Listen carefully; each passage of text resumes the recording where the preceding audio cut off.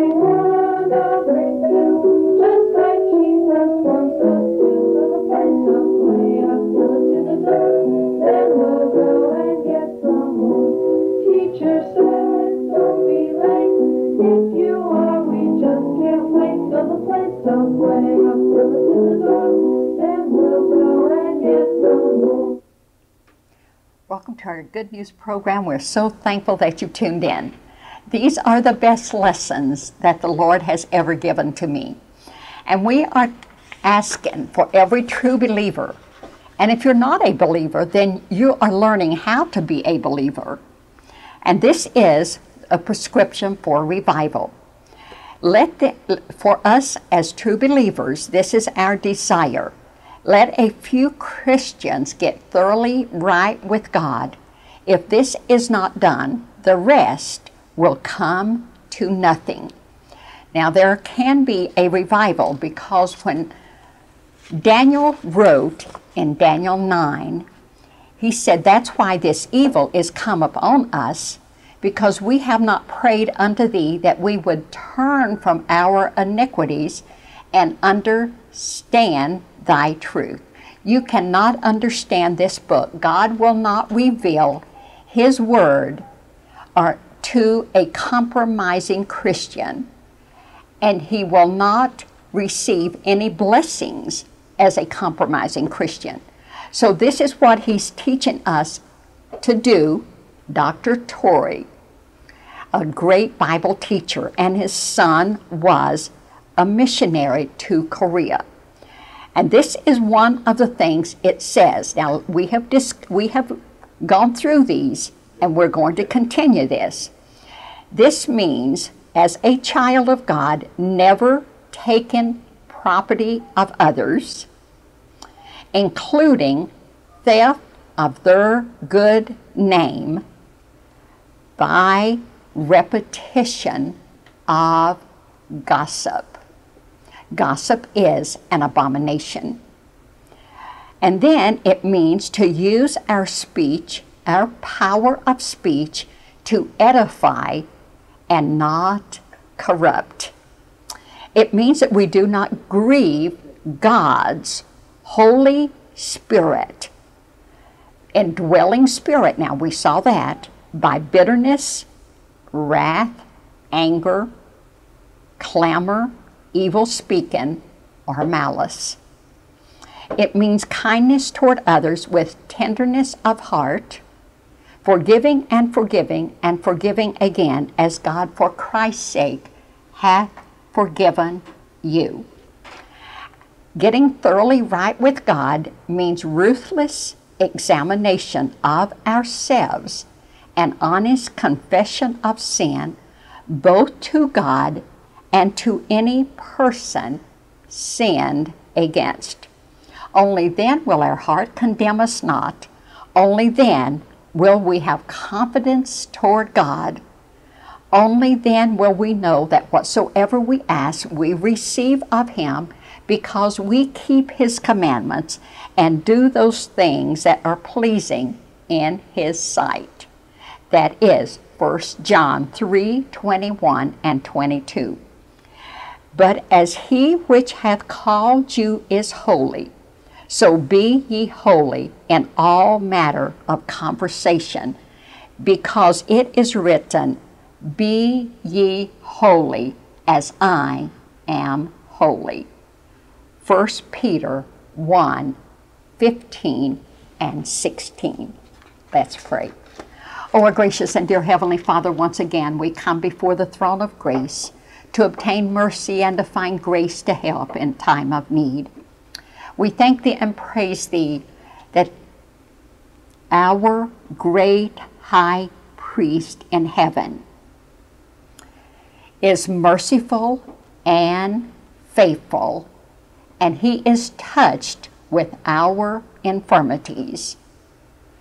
We know that almost every family that is a true child of God today is being attacked as never before. Satan is trying to deceive the very elect. And if we don't get back to this word, we will not know how to honor thee and glorify thee in the times of trials and tribulations and persecutions. Help us each to be filled with the Holy Spirit. This book teaches us that we are, as a true child of God, know the fullness of God, the fullness of Christ, and the fullness of the Holy Spirit. This is my desire for every true believer today, and that we will get on our knees asking Thee to guide us into all truths. Put on the whole armor of God that we may be able to stand against the wiles of the devil. Putting on the shield of faith, which is able to quench all the fiery darts of Satan. And the Holy Spirit and the Word and the blood will conquer all sin in each of our lives and conquer all satanic powers, all demonic spirits against this body of believers and against our little children, against our armed forces, against this nation. Every true believer praying for the peace of Jerusalem, the outpouring of thy spirit on this little nation. Praying for our leaders, Benjamin Netanyahu, Obama, all of these leaders that need Christ. All of these leaders that have to know Thee before the Spirit of God will guide them into all truth. Praying for our policemen, divine protection for them also, and our firemen. All of the servants that are serving Thee to protect us. Give them divine protection and help them to know that we are asking for their salvation and asking that they will accept this gift of eternal life, knowing that thy word will guide and direct them by the Spirit of God into all truth. And the gates of hell shall not prevail against this prayer. In Christ's name we pray. Amen. So, as we saw last week, and this is a sad, a sad, sad thing for those that are lost. But you know, for people that know Christ, we live the abundant life. And there is, you can't worry. If you worry, it, ca- it causes 38 diseases. You cannot let your heart be troubled. You cannot fear. Because as a child of God, God has promised to seek ye first the kingdom of God and his righteousness, and all these things shall be added unto you. You cannot worry and trust God at the same time. And then we see the man lost his perfection in every realm, and until he is willing to become alive to Christ and his spirit, he shall abide eternally in death, the lake of fire. Revelation 20 15. And then we saw Romans 6 23. The wages of sin is death, and Adam all died. But the gift of God is eternal life through Jesus Christ our Lord. And then Leviticus 17:11 it is the blood that makes an atonement for our sins. So only this which is a trinity is capable of fellowship with the Godhead. Our fellowship is with the Father and his Son Jesus Christ. That is 1 John 1 3. And then it says to walk in the light and have fellowship one with another then the blood of Jesus Christ cleanses us from all sin. So we see in Genesis 5 3, children now are born in the image of their parents, not in the image of God. They bear the image of the earthly and are dead to the heavenly. See, this is a divine heavenly calling. This is a divine worship.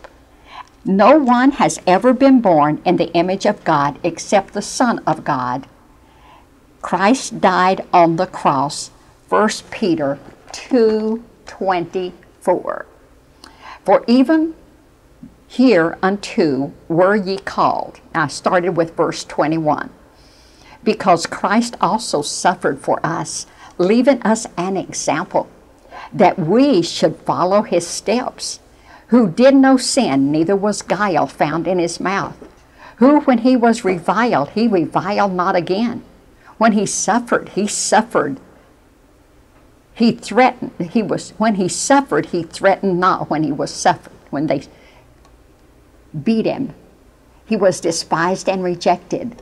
He threatened not, but committed himself to him that judges righteously, God who his own self bare our sins in his own body on a tree, that we, being dead to sin, should live unto righteousness, by whose stripes we are healed. He died instead of me. I will never die. Now the way was made open for man to become a trinity. You see, we are one in Christ. The Trinity is God the Father, God the Son, and God the Holy Spirit. And this is every person must know that God sent His Son, Jesus Christ. He died on the cross, He went back to heaven. Fifty days after He arose from the dead, He sent the Holy Spirit to this earth to dwell in the lives of believers. And you cannot go to heaven because you only have a body and a soul when you are born. Until you are born again by the Spirit of God, you'll never go to heaven. This is the truth of the Holy Spirit.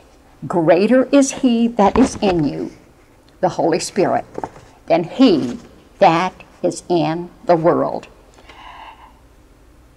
Now I have to have the Trinity the triune. Now they are equal God the Father, God the Son, and God the Holy Spirit. We, as a body of believers, are one in Christ. There is no division. That is the difference in religion and organizations. We are united by the blood of Christ. There can be no division in this body because we are one. This is the greatest sin today, and we must love one another the way Christ has loved us. By this shall all men know you are my disciples if you have love one for another. And why am I here today? Because God loves you and I love you. And this is the greatest gift that I can give you His divine love.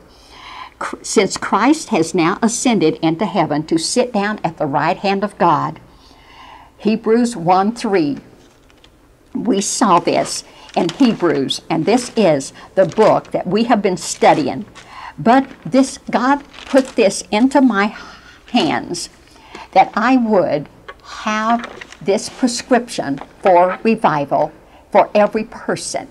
So that's the reason that I have not been giving you the lessons on Hebrews, but we are going to get back to them. Because in Hebrews, God is speaking to the Hebrews, the Jewish people that had been under the law.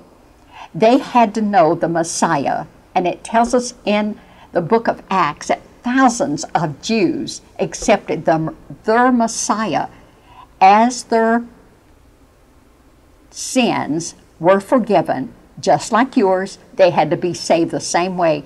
There is no Jew, no Gentile, no female, no male. We're all one in Christ. This is the greatest thing. And he had to teach the Jews about how great this salvation was. This is greater than their earthly ministry that they had. This is a heavenly ministry. And this is what we must understand. And if you hate another person, you are a murderer. And every time I give this out, they say, Give me that scripture. So you can't hate and be a child of God. And he says in 1 John chapter 3 Whosoever hateth his brother is a murderer. And you know that no murderer hath eternal life abiding in him. You cannot be a child of God and hate another person. And then he says in the, another verse that we must see, he says, This I say, I love God and hateth his brother. Now, this is chapter 4 of 1 John, verse 20. If a man say, I love God and hateth his brother, he is a liar. And he hath, and he that loveth not his brother, whom he hath seen, how can he love God, whom he hath not seen? And this commandment have we from him, that he who loveth God love his brother also. This is what the Bible says, and there's no controversy.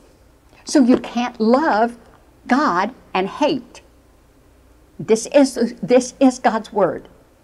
And you have to do what this word says to be born again and to live this life.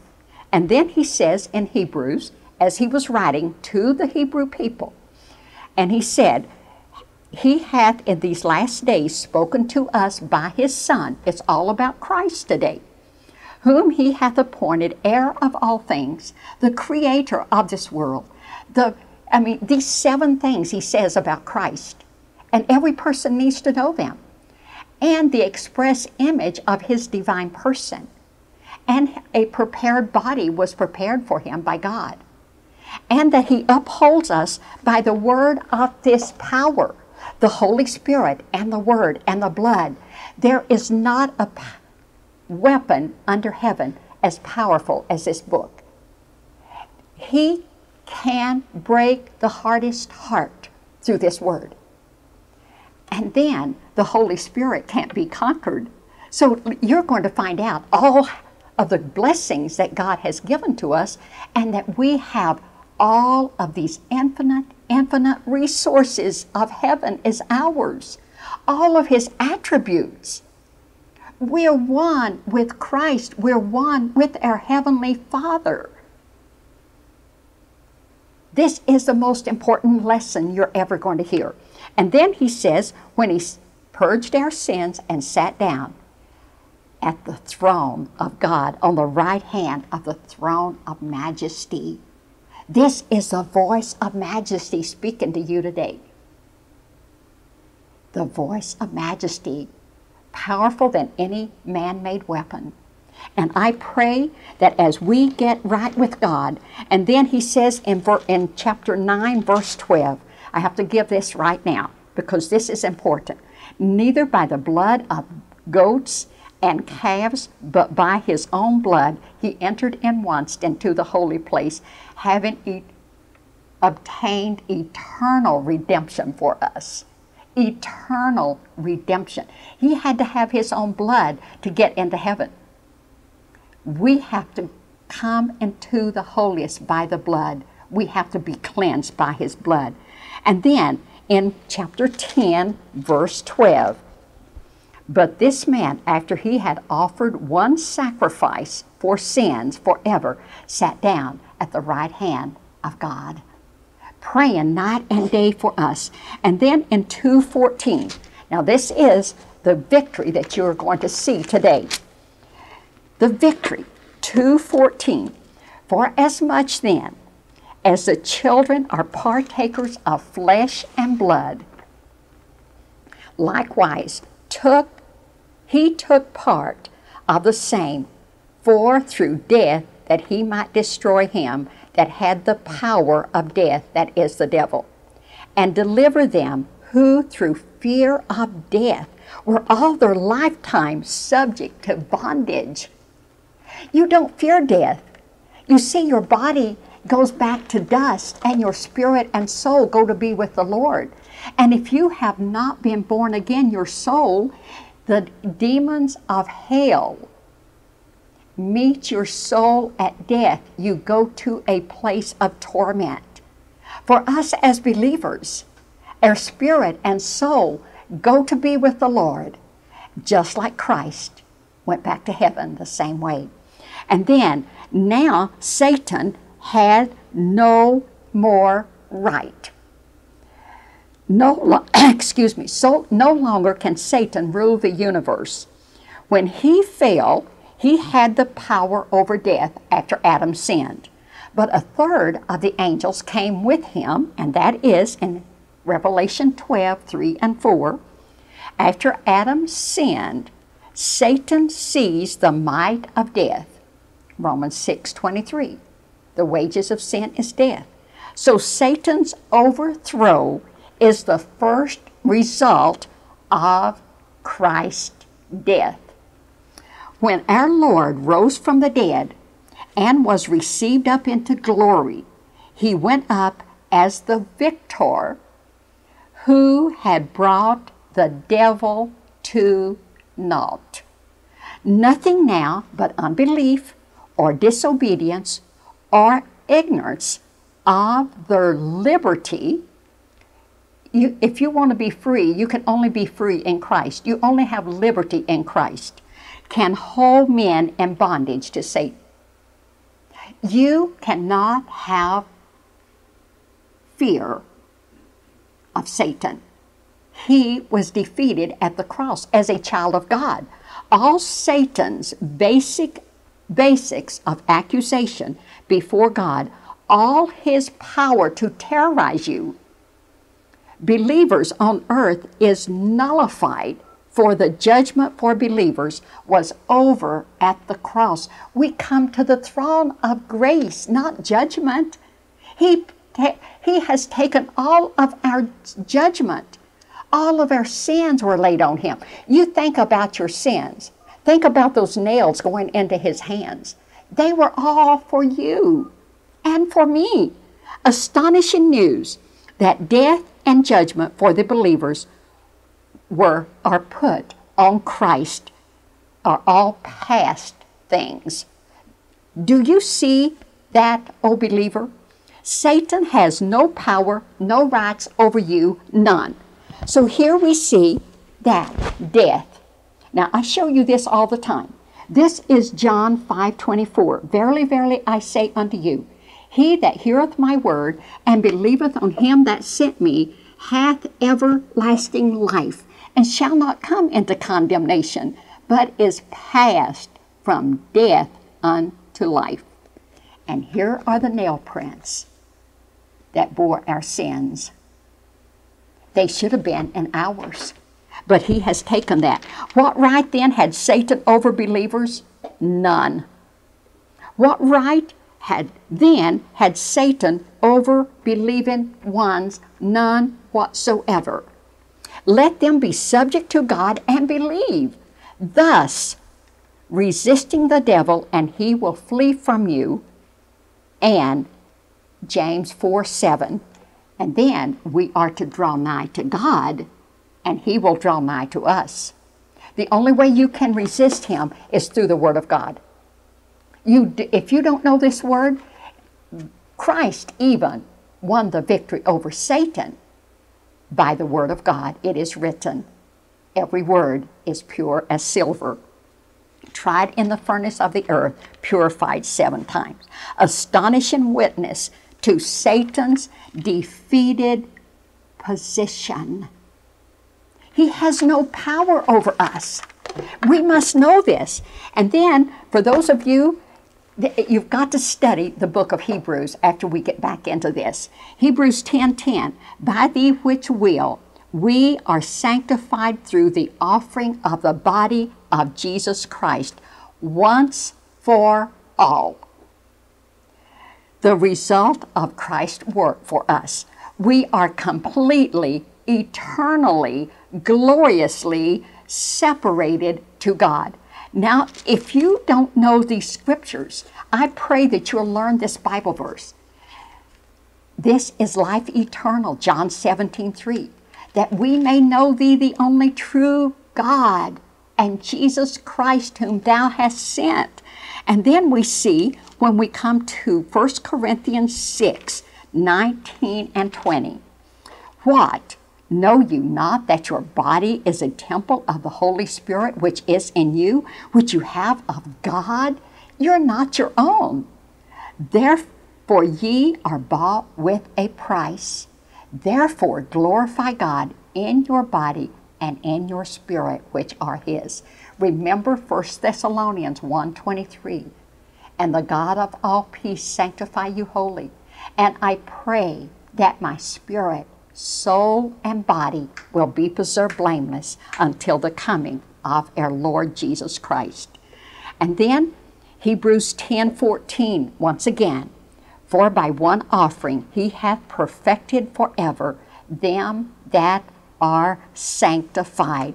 2 Thessalonians 2 13. There is so many things I want to give to you, and I just can't wait to get back to tell you what all you have in Christ. This is 2 Thessalonians 2, verse 13.